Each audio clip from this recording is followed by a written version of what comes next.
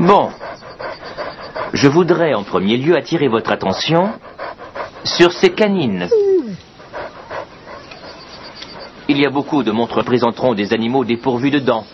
Il y a aussi des couards qui munissent leurs bêtes d'une muselière. Seul un vrai maître peut entreprendre ces tours de force sans aucune mesure de sécurité. Pourquoi m'avez-vous demandé de venir voir ça? Peter, Mais c'est absurde, c'est juste un chien. s'il te plaît, mon chéri. Juste un chien? Juste? Porthos, bouge-toi les oreilles. Porthos rêve d'être un ours et toi tu veux réduire ses rêves à néant en lui rappelant qu'il est juste un chien. Voilà ce que j'appelle être un vrai rabat-joie. C'est comme si tu disais, il ne peut pas escalader cette montagne, c'est juste un homme. Ou ce n'est pas un diamant, c'est juste une pierre. Juste. Très bien alors. Si vous le pouvez, montrez-le. Changez-le en ours.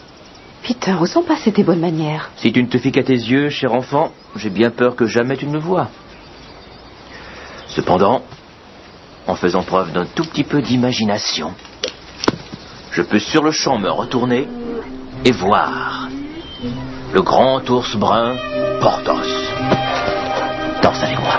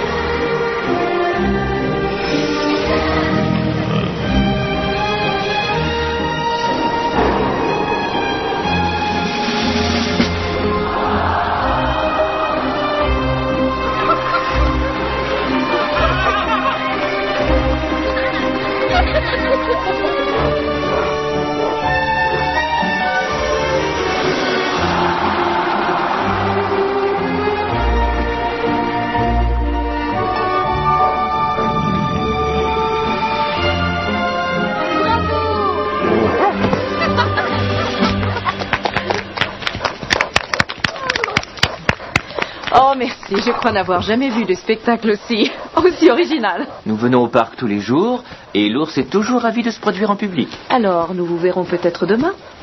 Peut-être bien. Peter, lève-toi vite, mon chéri. Au revoir. Au revoir. Peter, ça t'a plu au moins? J'ai déjà vu mieux.